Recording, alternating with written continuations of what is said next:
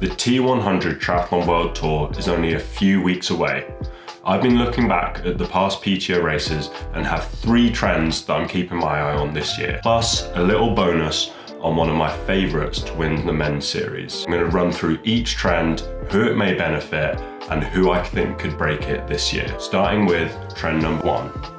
The men's winner of each 2023 PTO race swam front pack. Three different winners, all front pack swimmers. Max Neumann in Ibiza, Jan in Milwaukee, and Kristian Blummenfelt in Singapore. Now this trend can be extended even further if you look at the other championship races from 2023. Challenge Roth, Ironman 70.3 Worlds, and the Ironman World Championships. All were won by front pack swimmers. So does this mean it's impossible to win a championship level race without being a front pack swimmer? No, but as the strength and depth of athletes swimming in the front pack continues to increase, and more athletes come out of the water together and able to ride together, it's going to be even harder to close those deficits out of the water if you're not making that front pack, especially at these top level races. If you look at the men's athletes the PTO have signed, 10 out of the 20 are front pack swimmers. That means you're going to have half the field coming out of the water together and trying to ride together. Now, that group will split up on the road, but you're still going to have some of the best athletes coming out of the water together with a significant advantage over those weaker swimmers because they can work together on the bike and get an easier ride along the way. So clearly this favours the front pack swimmers, but who could we see break this trend in 2024? For me, there are two big names who aren't always front pack swimmers, but could win a race in 2024. Those are Magnus Ditlev and Jason West, the top two ranked athletes in the series. Now, both have swam front pack in the past, Magnus Ditlev when he won Challenge Roth last year, and Jason West in Singapore when the pace probably wasn't as hot as it normally is. But unless they've been really focusing on that over winter and had big improvements, I don't see them regularly making that front pack, so they'll normally be coming from behind. Now, neither has won a PTO race before, but 2024 could be the year that they get their first victory and break this trend of the front pack swimmers winning all these races. Now, I went for a ride earlier today and my bike is currently sitting in the hallway covered in dirt and need to make sure it's clean before the roommate comes back. So let's go outside, get it clean, we can talk more out there.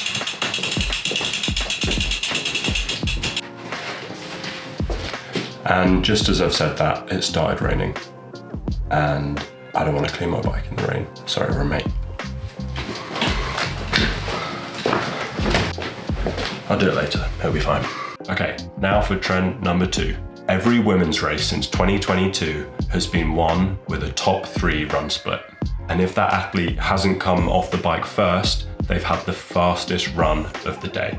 Now, we've seen Haug and Gentle run through the field to take the win, but if you look at the US Open in 2023, Taylor Knibb still had to run the third fastest split of the day to secure the win and hold off Ashley Gentle. The running in triathlon is now at such a high level that it's becoming near impossible to win a race on the bike without backing it up with one of the day's best runs.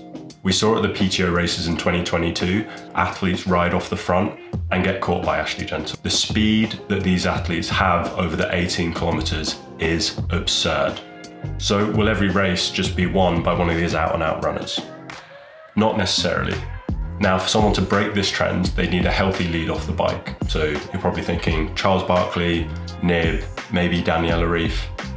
For Charles-Barclay and Knibb, they can run those top three run splits, but they may be in a position where they don't need to. Both can swim off the front of the race and build a lead in the swim, and then increase that on the bike, riding two or three minutes into the rest of the field. And they may not be in a position where they need that top three run split, but they'll still run top five or top eight. Now for Daniela Ryf, she definitely need a bigger gap off the bike, it's becoming increasingly difficult to know how she's going to perform race to race. And we've seen her last season with highs and lows throughout the year, so we're not quite sure which version of her we're going to get in the T100 World Tour. But she would definitely need a big lead off the bike to hold off Haug, Gentle, Philipp, Sodaro, Kat Matthews, Emma Pallant Brown, Tamara Jewett. The level of runners in this series is truly insane. Now, before I talk about that little bonus I promised at the start of the video, we need to talk about trend number three. the PTO races got less competitive throughout the 2023 season. Now, how I'm judging this is the number of athletes, including the winner, that finished within 2.5% of that winning time. So for PTO races, that's roughly five minutes. Now, why is this important? For me, exciting and dramatic racing, you want as many athletes battling it out all the way to the line at the front of the race. So for me, athletes finishing within that five minute mark, the more you see, the more dramatic, the more intense the racing all the way to the line. What you don't want to see is when it's clear who's going to be on the podium halfway through the run, and then it's just a procession to the finish. The closer the racing is, the more exciting all the way to the line. Okay, so going back to these numbers. For the men, they had nine athletes at the European Open finishing within that 2.5%. And again, that includes the winner. Then at the US Open, they had seven. And in Singapore, it was only three. Now, the women didn't drop off like that, but it was never that high.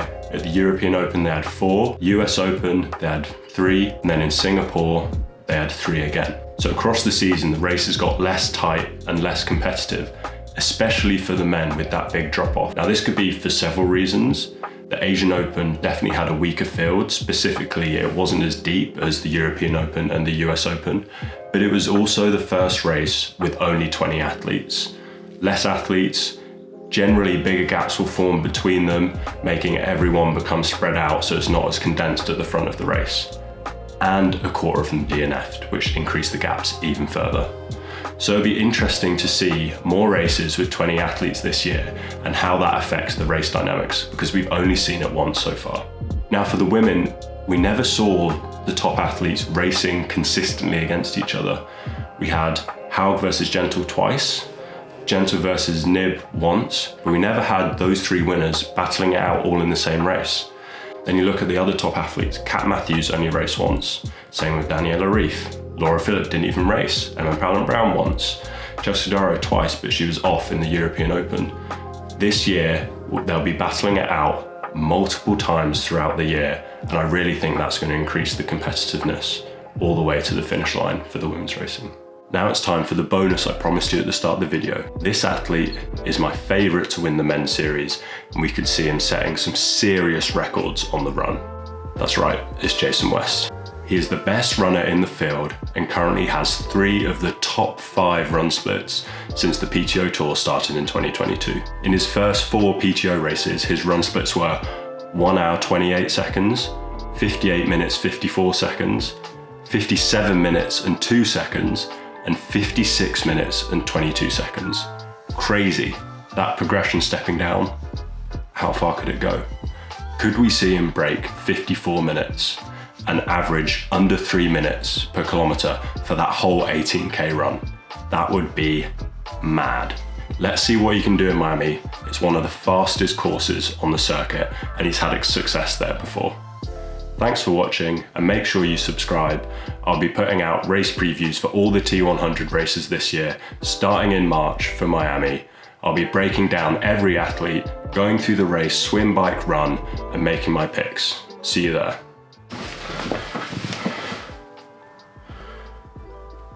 Guess I should clean my bike now. Nah, do it tomorrow.